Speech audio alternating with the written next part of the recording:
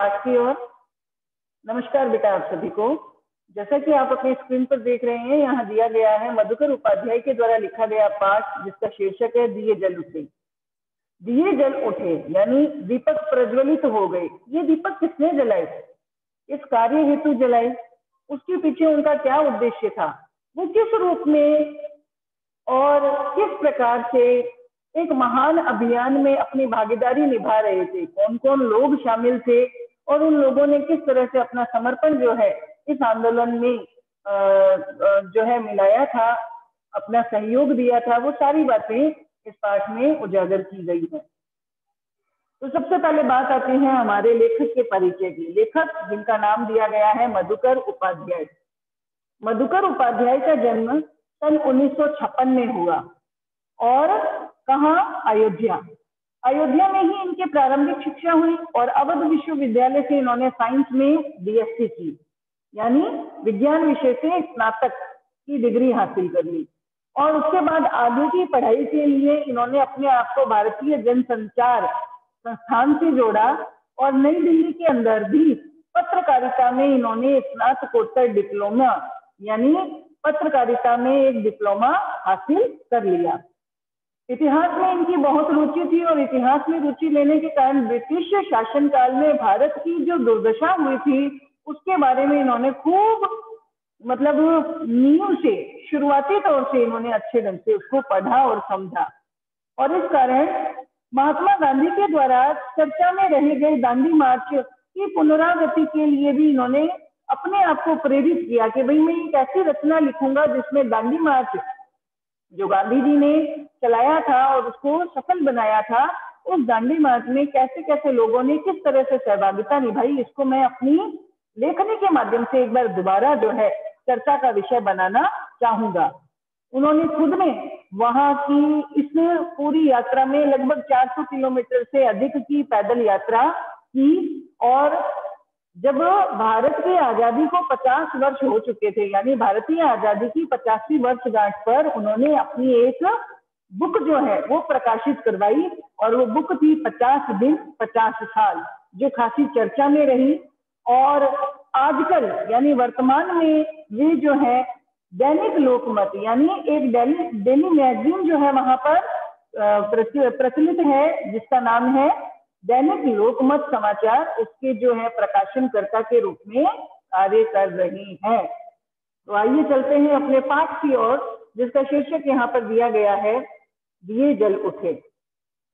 ध्यान दीजिएगा बेटा कि जब भी अंग्रेज़ी शासन के खिलाफ कोई भी आवाज़ उठाता था तो उसको जो है, जो गंभीर रूप से ब्रिटिश शासन के खिलाफ था, उसको क्या है, कड़ी सजा दी जाती थी। और वो सजा क्या थी? काला पानी जेल भेज दिया जाता था। अब ये काला पानी जेल क्या है?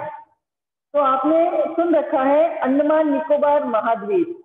अंडमान निकोबार महाद्वीप में वह काला पानी जेल जो है, वहाँ कारावास के तौर पे बनाया गया था, जिसके चारों तरफ़ जल राशि यानी पानी ही पानी फैला हुआ था कि वो सत्याग्रही अगर वहाँ से निकलने का, छूटने का प्रयास भी करे तो कहीं नहीं जा सकता था। उसको घूम फिर के वापस वहीं आ जाना पड़ता था। तो किन किन लोगों को काला पानी की सजा दी गई? और देखिए कि किस तरह से यहाँ पर वल्लभ भाई जो पटेल है, उन सरदार वल्लभ भाई पटेल को अंग्रेज़ी शासन के क्रोध का शिकार होना पड़ा तो हम पढ़ते हैं और शुरुआत करते हैं अपने इस पाठ की, जिसका शीर्षक है दिए जल उठे। रास नामक एक स्थान है, यानी अंडमान के अंदर ही एक रास जो है, स्थान का नाम है, वहाँ पर एक बूढ़ी बरगद का पेड़ है। यानी उस बूढ़े बरगद के पेड़ ने वो सारे दृश्य देखे थे जो वहाँ घटित हुए थे। वो एक सबूत था वहाँ पर। वो पेड़ जो है, उन सारी घटनाओं को देख रहा था जो लंबे समय से वहाँ हो रही थी। दांडी कूच की तैयारी के सिलसिले में सरदार वल्लभ भाई पटेल सात मार्च को रास पहुँचे। रास द्वीप समूह है, यानी अंडमान निकोबार द्वीप समूह में एक स्थान का नाम है रास। सरदार वल्लभ भाई पटेल सात मार्च को वहाँ पहुँचे। उन्हें वहाँ भाषण नहीं देना था, क्योंकि अंग्रेज़ सरकार ने इसकी मनाही कर रखी थी कि अंग्रेज़ी शासन के खिलाफ कोई भी व्यक्ति भीषण या गंभीर लोगों के मध्य कोई भी वचन या कोई भी कथन नहीं करेगा। लेकिन पटेल से लोगों ने आग्रह किया, यानी विनम्र निवेदन किया तो पटेल ने उनके कहने पर दो शब्द कहना स्वीकार कर लिया। यानी उन्होंने कहा कि, चलो, ज़्यादा तो नहीं, मैं कम से कम दो शब्द आप लोगों से कहना चाहूँगा। वो क्या कहते हैं? उन्होंने कहा। तो बेटा, जो बात उन्होंने कही, इस बात को आपको जो है रेखांकित करनी है, क्योंकि ये आगे हमारे प्रश्न का भी उत्तर है। उन्होंने कहा, भाइयों और बहनों, क्या आप इस सत्याग्रह के लिए तैयार हैं? बस इतनी सी बात बोली। क्या कहते हैं वो? कि भाइयों और बहनों, क्या आप इस सत्याग्रह, सत्य आग्रह, यानी सत्य के लिए किया गया विनम्र निवेदन के लिए तैयार है और जैसे ही उन्होंने इतनी सी बात बोली, सारे के सारे लोग जो है, बहुत तेज आवाज़ में गर्जना करते हुए उनकी सहमति देते हैं, यानी अपने आप को बता देते हैं कि हम आपके इसी सत्याग्रह के लिए सहमत हैं।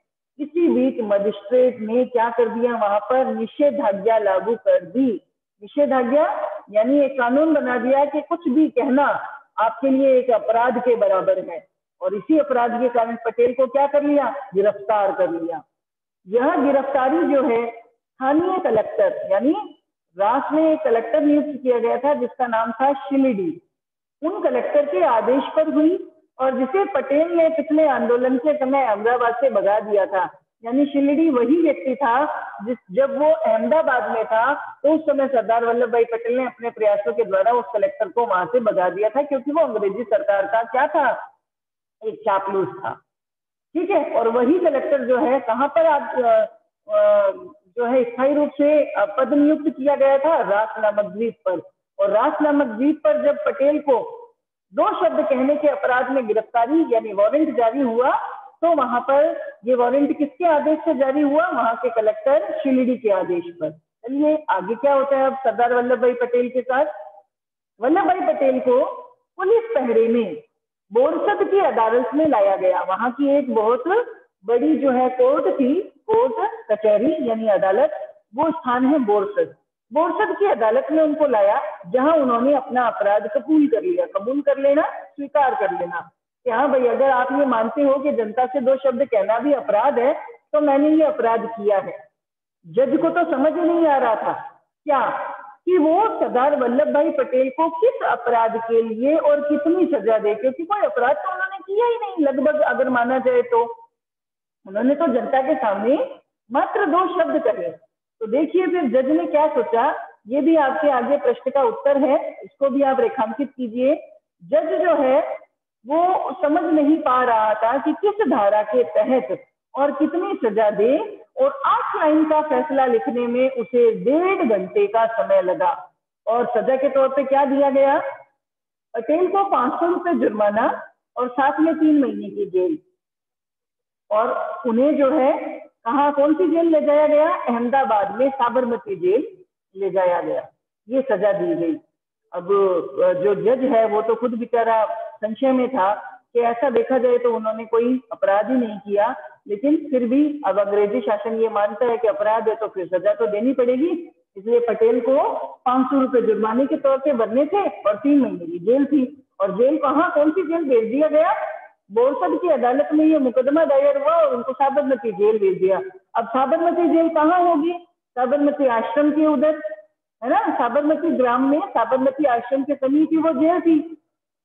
साबरमती आश्रम में कौन थे? महात्मा गांधी। यानी पटेल अब किससे मिलेंगे? महात्मा गांधी से। तो आइए देखिए कैसे उनकी उनकी आपसी भेंट होती है और किस तरह से उनकी मुलाकात को वहाँ के जो लोग हैं वो एक आ, मतलब बहुत ज़्यादा प्रेरणास्पद ढंग से उसे देखते हैं और उनके इस मेल में उस भेंट में इस मुलाकात में अपना भी योगदान देते हैं।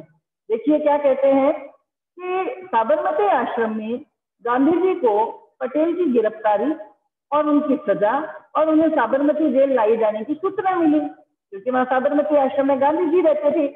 गांधी जी इस गिरफ्तारी से बहुत शुभ हुए। शुभ यानी दुखी हुए। उन्होंने कहा कि अब मैंने जो दांडी कूच की तारीख तय की थी, उसे अब बदलना पड़ेगा। यानी दांडी मार्च की तारीख थी 12 मार्च। सात मार्च को पटेल को गिरफ़्तार कर लिया। तो गांधी जी कहते हैं बारह मार्च से पहले ही मुझे रवाना होना पड़ सकता है। ये देखिए यहाँ पर किस तरह सरदार पटेल खड़े हैं, जिन्होंने ऊपर जो है कुर्ते और धोती जो पहन रखी है और उसके ऊपर एक सफ़ेद रंग का उन्होंने तोलिया या गमछा सा जो है, वो लपेट रखा है। साथ में अंग्रेज़ अधिकारी है और वो उनको गिरफ़्तार करने के लिए आगे बढ़ रहे हैं, है ना? अब वहाँ पर अंग्रेज़ सरकार तो कोशिश ये करेगी कि पटेल गांधी जी से ना मिले। लेकिन पटेल को गांधी जी से मिलने से कोई भी नहीं रोक सकता था। देखिए क्या हो रहा है यहाँ पर। आश्रम में एक एक आदमी ये हिसाब लगा रहा था कि मोटर कार, यानी कार से बोरसद से साबरमती जेल पहुँचने में कितना समय लगेगा? यानी जितना भी समय लगेगा, कोशिश हमें ये करनी है कि उस कार को साबरमती आश्रम के समीप न रोका जाए। यानी पटेल को गांधी जी से नहीं मिलने दिया जाए। जेल का रास्ता आश्रम के सामने से ही होकर जाता था। और आश्रम वासी पटेल साहब की एक झलक भी पाना चाहते थे, यानी उनको एक झलक देखना चाहते थे। समय का अनुमान लगाकर गांधी जी स्वयं आश्रम से बाहर आ गए। यानी उनको लग गया कि इतनी देर में यहाँ से गाड़ी निकलेगी तो गांधी जी आश्रम से बाहर निकल आए। पीछे पीछे सारे आश्रम वासी भी आकर सड़क के किनारे खड़े हो गए। लोगों का ख्याल था कि पटेल को गिरफ़्तार करके ले जाने वाली मोटर जो है, वहाँ किसी हाल में भी रुकेगी नहीं। लेकिन फिर भी वहाँ पर वो कार रुकी। और रुकने का क्या कारण था? यानी वो मान रहे हैं कि वास्तव में ये पटेल का ही एक रॉब था, जिसके कारण पुलिस वालों को उनकी कार वहाँ पर रोकनी पड़ी। उस समय गांधी जी और सरदार वल्लभ भाई पटेल सड़क पर मिले और एक छोटी सी मुलाकात थी यानी संक्षिप्त भेंट थी पटेल ने कार में बैठते हुए आश्रम वासियों और गांधी जी से कहा, क्या कहते हैं, देखिए, वास्तव में इस छोटे से कथन में वो उनकी जिम्मेवारी और दायित्व को बता रही है। क्या कहते हैं, अब मैं चलता हूँ, अब आपकी बारी है। यानी इस सत्याग्रह को आगे बढ़ाने में मैंने तो अपनी तरफ़ से अपना रोल निभा दिया, लेकिन अब आपको अपनी भूमिका निभाने के लिए तैयार रहना है। पटेल की इस गिरफ्तारी के लिए पूरे देश में उसकी क्या हुई? प्रतिक्रिया हुई। कैसे कैसे रिएक्शन आए यानी लोगों ने किस तरह से अपनी प्रतिक्रियाएँ दी? देखिए, सबसे पहले दिल्ली में श्री मदन मोहन मालवीय ने जो केंद्रीय असेंबली में एक प्रस्ताव पेश किया, क्या बताया? जिसमें बताया कि बिना मुकदमा चलाए सरदार वल्लभ भाई पटेल को जेल भेजना वास्तव में सरकारी कार्य निंदनीय है बतरसना यानी निंदाजनक है। यानी बहुत ज़्यादा इसकी जो है वहाँ पर निंदा की गई, बुराई की गई। कि ये तो गलत बात है कि कोई व्यक्ति ने अगर किसी तरह का अपराध नहीं किया और उस बंदे को वहाँ गिरफ़्तार कर लिया, उसको पाँच सौ रुपये जुर्माना दे दिया, तीन महीने की जेल करा दी, ये तो वास्तव में अंग्रेज़ी सरकार के द्वारा जो कदम उठाया गया, वो गलत है। प्रस्ताव पारित नहीं हुआ। इस प्रस्ताव पर कई नेताओं ने अपनी राय भी दी। जैसे मोहम्मद अली जिन्ना नाम सुना हुआ है आप सभी ने?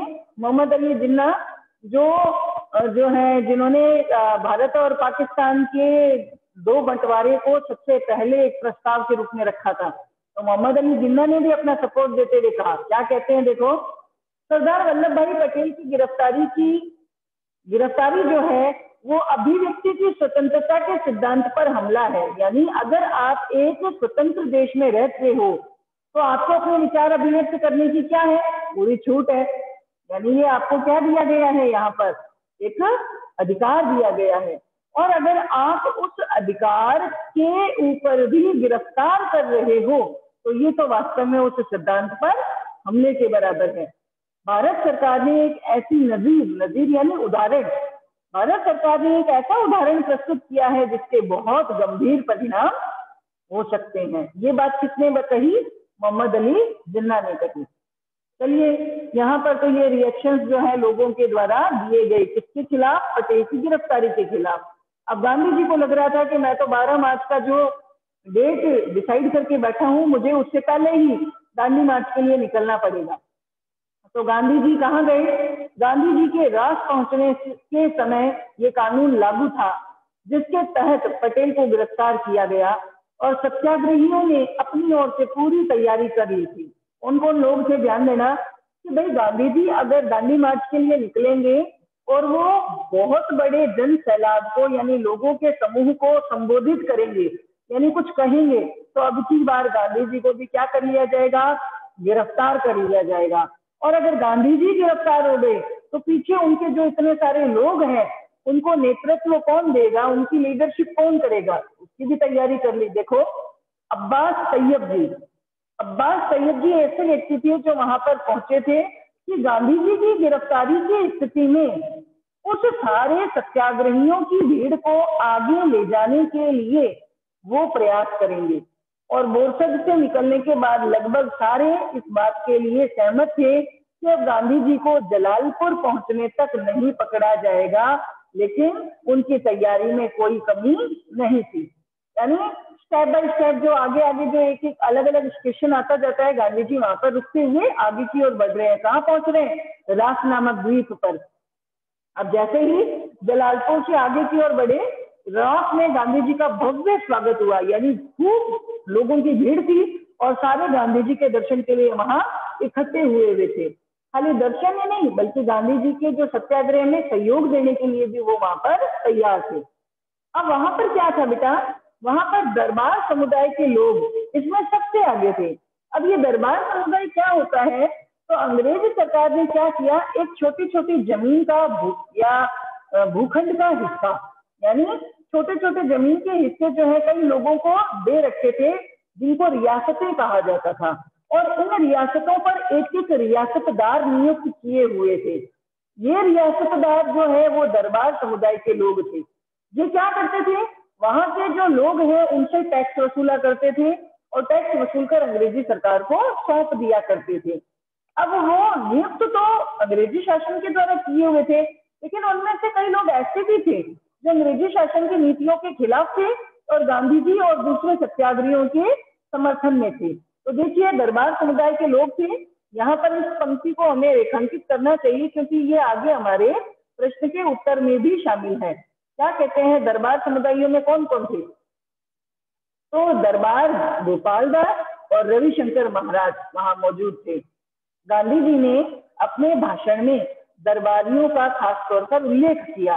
देखो, गांधी जी किस तरह से लोगों को और ज़्यादा इंस्पायर करते हैं। किसके बारे में बताकर, इन दरबारियों के बारे में बताकर। क्योंकि दरबारियों को नियुक्त तो किसने किया? अंग्रेज़ों ने। लेकिन फिर भी ये दरबारी जो है, अंग्रेज़ों की नीतियों के खिलाफ थे और गांधी जी के समर्थक में थे। क्या कहते हैं, देखो, गांधी जी ने अपने भाषण में इन दरबारियों का उल्लेख किया। कुछ दरबारी रास में रहते थे, रास नामक द्वीप पर पर उनकी मुख्य बस्ती, यानी मेन जो उनका स्थान था वो कौन सा था? कनकापुरा, यानी एक जगह का नाम है, गाँव है एक, कनकापुरा, और उससे सटा हुआ एक और गाँव जिसका, जिस गाँव का नाम है देवन देवण देवन यानी कनकापुरा और देवन नामक स्थान पर जो दरबारी थे, वो सारे दरबारी जो है गांधी जी के पूर्ण समर्थन में थे। यानी उनसे पूरी तरह से एग्री थे कि हम आपका सहयोग ज़रूर देंगे। दरबारी जो लोग हैं, उनका, उनको क्या कहा जाता था? उनको कहा जाता था रियासतदार। क्या कहा जाता था उनको? उनको कहा जाता था रियासतदार। अब रियासत रियासत जो दार थे, उनकी ऐशो आराम ठाट बाट कैसा था? देखो, इतना ठाट बाट होने के बाद भी उनको ठाट बाट वाली ज़िंदगी रात नहीं आई। वो कहते थे कि इतना ठाट बाट जो अंग्रेज़ी शासन हमें, हमारे ही लोगों का शोषण करने के लिए दे रही है हम उससे सहमत नहीं है, हम उसके बिल्कुल खिलाफ है। हम तो खुद एक आम आदमी की तरह गांधी जी के सत्याग्रह में अपना योगदान देना चाहते हैं। देखो, उनकी बहुत साहबी थी ऐश आराम की ज़िंदगी थी। एक तरह का राजपाट था। दरबार सब कुछ छोड़कर यहाँ आकर बस गए थे। और गांधी जी ने इनको कहा, क्या कहते हैं, देखिए, लोगों को इंस्पायर कर रहे हैं। कि इनसे आप त्याग और हिम्मत सीखें। किनसे? इन रियासतदारों से, जिन्होंने अपने ऐश आराम की ज़िंदगी, अपनी साहब की ज़िंदगी, अपनी अच्छे राजपाट की ज़िंदगी छोड़ करके और गांधी जी और सत्याग्रहियों का जो है सहायता करने के लिए ये यहाँ पर आकर बस रहे हैं। यहाँ पर रास नामक द्वीप पर, ठीक है? वैसे तो इनका कौन सी जगह थी? कनकापुरा और देवण नामक गाँव लेकिन वहाँ का राजपाट छोड़कर ये गांधी जी के सपोर्ट में आ गई। अब उस समय एक दल था, वो दल जो पॉलिटिकल पार्टी थी, वो पॉलिटिकल पार्टी बहुत स्ट्रांग थी, जिसका नाम था भारतीय कांग्रेस, अखिल भारतीय कांग्रेस। उस कांग्रेस की मीटिंग होनी थी कब? 21 मार्च को। कहाँ पर? साबरमती जो नदी है, उसके तट पर, यानी किनारे पर। उस बैठक को अध्यक्षता कौन करने वाला था? यानी किसके नेतृत्व में बैठक होनी थी? जवाहरलाल नेहरू के नेतृत्व में। तो जब जवाहरलाल नेहरू को वहाँ पहुँचना था तो उन्होंने भी गांधी जी को एक लेटर भेजा, पत्र लिखा कि मैं भी बैठक से पहले आपसे मिलना चाहता हूँ। तो उन्होंने संदेश में वापस भिजवाया, यानी गांधी जी वापस में उनको जवाब दे रहे हैं। तो गांधी जी ने क्या कहा कि गांधी जी ने रात में अपनी जनसभा से पहले उनको एक पत्र लिखा और कहा कि उन तक पहुँचना कठिन है। यानी गांधी जी तक पहुँचना अब तो बहुत कठिन है। यानी जो जो व्यक्ति गांधी जी को सपोर्ट करेगा, अंग्रेज़ी शासन उसका क्या करेगी? विरोध करेगी। गांधी जी क्या कहते हैं? देखो, नेहरू जी को लेटर लिख के कह रहे हैं कि तुमको देखो, एक तो पूरी रात जागना पड़ेगा। और अगर कल रात से पहले वापस लौटना चाहते हो तो इससे बचा भी नहीं जा सकता। यानी एक दिन की मीटिंग के बाद तुम वापस निकलना चाहते हो। तो तुम्हें वहाँ सोना होगा। और अगर मेरे से मिलोगे तो तुम्हें पूरी रात जागना होगा। मैं उस समय जहाँ भी रहूँगा, मेरा एक मैसेंजर यानी संदेश वाहक जो है, वो तुमको वहाँ तक ले आएगा। और इस प्रयाण प्रयाण यानी महाअभियान के लिए रवानगी लेना, इस प्रयाण की सबसे मुश्किल घड़ी में तुम मुझसे मिल रहे हो। तुमको रात के लगभग दो बजे जाने परखे जो मछुआरे हैं, उनके कंधों पर बैठकर जो साबरमती नदी है, उसको पार करना पड़ेगा। और मैं राष्ट्र के प्रमुख सेवक के लिए भी प्रयाण में थोड़ा सा भी विराम नहीं दे सकता। यानी मैं जिस काम के लिए आगे बढ़ रहा हूँ, उसको मैं थोड़ी देर के लिए भी रोक नहीं सकता। यानी गांधी जी से अगर नेहरू जी वहाँ मिलने जाएँगे तो गांधी जी को क्या करना पड़ेगा? थोड़ी देर उनको टाइम देना पड़ेगा। टाइम देना यानी समय वहाँ पर खर्च हो जाएगा। समय खर्च होगा तो गांधी जी जिस सत्याग्रह को वहाँ पर निभाना चाहते हैं उस सत्याग्रह में क्या हो जाएगा? विलंब हो जाएगा, देरी हो जाएगी, इसलिए गांधी जी चाहे कितना ही बड़ा राष्ट्र का सेवक क्यों ना हो गांधी जी कहते हैं, मैं अपने अभियान में थोड़ा सा भी विराम नहीं देना चाहता।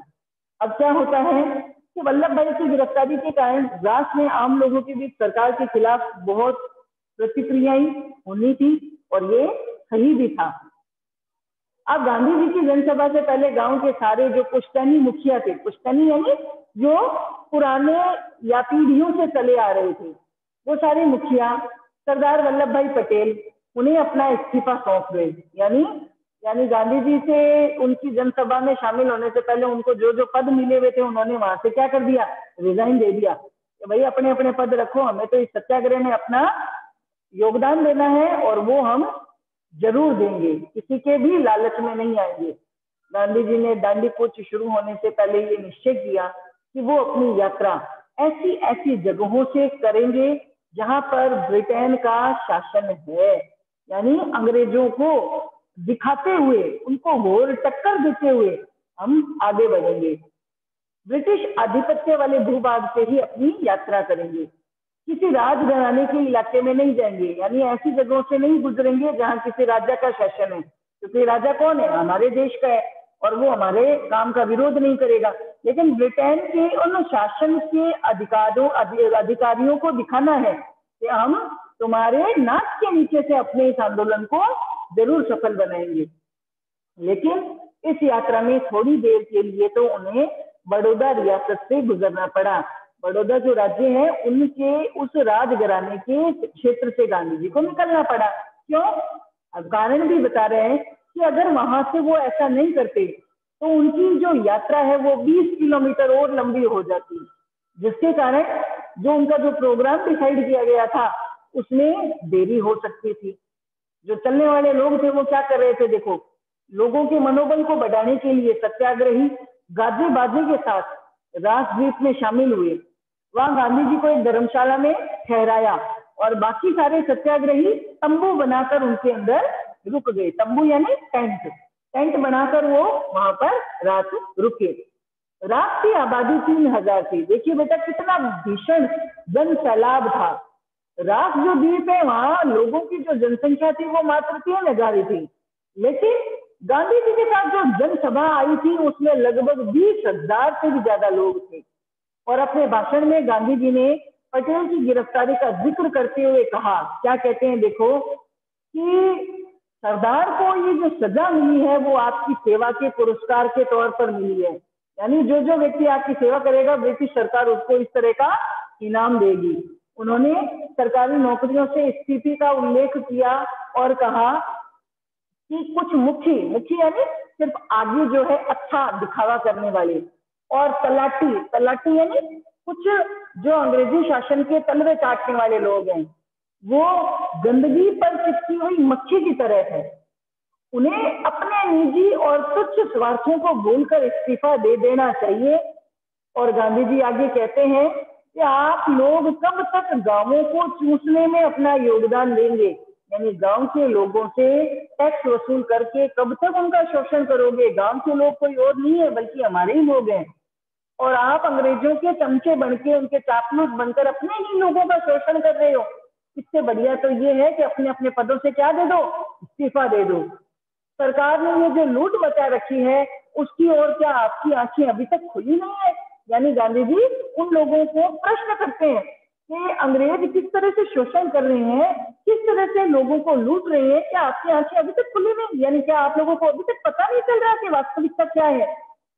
गांधी जी ने भी राष्ट्र में राजद्रोह की बात पर ज़ोर दिया और कहा कि अगर उनको गिरफ़्तार कर लिया जाए तो ये बहुत अच्छा होगा। और उनको, उन्होंने सरकार को खुली चुनौती दी, यानी ओपनली चैलेंज देते हुए कहा। क्या कहते हैं, देखो, आज फिर बादल गिर रहे हैं। बादल गिर गिरा भाई मुसीबत आ रही है। या यूँ कहो कि अब तो मौका सामने है। अगर सरकार मुझे भी गिरफ़्तार करती है तो ये बहुत अच्छी बात है। और मुझे तीन माह की सजा होगी तो सरकार को शर्म आनी चाहिए। क्योंकि एक राजद्रोही को या तो काला पानी की सजा दी जाए, या देश में काला दे दिया जाए, या फांसी की सजा देनी चाहिए। और मुझे जैसे लोग अगर राजद्रोही होना अपना धर्म समझते हैं तो उन्हें क्या सजा मिलनी चाहिए? अर्थात इससे भी कड़ी अगर कोई सजा है, इससे भी कठोर अगर कोई सजा है तो वो मुझे दो, तीन महीने की जेल से मुझे कुछ नहीं होने वाला, यानी मेरा कुछ नहीं बिगड़ेगा। तो अंग्रेज़ी सरकार को उन्होंने क्या किया? ओपनली चैलेंज दिया। अब सत्याग्रही शाम छह बजे रास नामक द्वीप से भी आगे बढ़े। आठ बजे कनकापुरा गाँव पहुँचे। उस समय लोग जो है यात्रा करने से थक गए थे और थकान इस आशंका से भी थी कि आगे एक बहुत बड़ी नदी थी, उस नदी का नाम था मही नदी। उस मही नदी को कब और कैसे पार किया जाए? क्योंकि इस नदी की एक खासियत थी। क्या खासियत थी? कि रात्रि के समय इस नदी में जो पानी है, उसकी मात्रा बढ़ जाती है। क्योंकि समुद्र के अंदर आता है ज्वार भाटा। और जब ज्वार भाटे आते हैं तो बड़ी बड़ी समुद्र के अंदर क्या उठती है? लहरें। उन लहरों के कारण जो समुद्र का पानी है, वो एक मही नदी में आ जाता है और इसके पानी का जो लेवल है, वो बढ़ जाता है। तो रात के समय अगर इस नदी को पार किया जाएगा तो क्या रहेगा? उचित रहेगा। क्योंकि रात्रि में क्या है, इसमें पानी रहता है तो दलदल यानी कीचड़ कम होता है। अगर दिन में पार करोगे तो कीचड़ ज़्यादा होगा और पानी कम होगा। और कीचड़ को पार करने में बहुत कठिनाई होती है। तो क्या है, देखो, मही नदी को कब और कैसे पार करेंगे? नदी के किनारे पहुँचते ही समुद्र की ओर से आने वाली जो ठंडी ठंडी हवा है, उसने सत्याग्रहियों का स्वागत किया। कनकापुरा में 105 साल की एक बूढ़ी महिला ने गांधी जी के माथे पर तिलक लगाया और कहा, क्या कहते हैं देखो, महात्मा जी, स्वराज लेकर जल्दी वापस आना। गांधी जी ने जवाब दिया कि मैं स्वराज लिए बिना नहीं लौटूँगा। गांधी जी की जनसभा का निर्धारित समय आठ बजे था, लेकिन कनकापुरा गाँव पहुँचने में देरी के कारण उन्हें एक घंटा जो है स्थगित कर देना पड़ा, यानी एक घंटे के लिए उनको देरी हो गई अब जनसभा में गांधी जी ने ब्रिटिश कुशासन का ज़िक्र किया। उन्होंने कहा कि इस राज्य में, यानी इस ब्रिटेन के शासनकाल में रंग से लेकर राजा तक सारे के सारे दुखी हैं। राजे महाराजे, जैसे सरकार नचाती है ना, वैसे नाचने के लिए तैयार है। यह एक राक्षसों का राज है, इसका संहार करना ज़रूरी है, यानी इसको यहाँ से नष्ट करना बहुत ज़रूरी है। रास्ते में रेतीली सड़कों के कारण ये प्रस्ताव रखा, देखो लोग कितनी मदद कर रहे हैं। कि गांधी जी को कार के माध्यम से ले जाया जाए, लेकिन गांधी जी ने इस बात से इनकार कर दिया। उनका कहना था कि उनके जीवन की ये आखिरी यात्रा है और ऐसी यात्रा में निकलने वाले वाहनों का प्रयोग नहीं करता। यानी जब भी आप किसी अच्छी यात्रा के लिए, धर्म यात्रा के लिए निकलते हो तो आपको वाहन का प्रयोग नहीं करना चाहिए, बल्कि उस यात्रा को पैदल करना चाहिए। पैदल करने से ज़्यादा पुण्य मिलता है, ऐसा माना जाता है। तो गांधी जी क्या कहते हैं कि ये एक पुरानी रीति है कि जब भी धर्म यात्रा में हवाई जहाज़, मोटर, बैलगाड़ी में बैठकर जाने वालों को लाभ नहीं मिलता। इसलिए यात्रा में कष्ट सहो और लोगों का सुख दुख समझो। तभी ये यात्रा सच्ची यात्रा होती है। तो इस प्रकार अब गांधी जी किस तरह से मही नदी को पार करेंगे? मही नदी के अंदर वहाँ अंधेरा है। अब उस अंधेरे को दूर करने के लिए लोग जो है, वहाँ किस तरह से वहाँ प्रकाश की व्यवस्था करेंगे? तो इस बारे में हम आगे की कक्षा में चर्चा करेंगे। आज के लिए इतना ही। काफ़ी है तो विराम लेते हैं। इसी पाठ से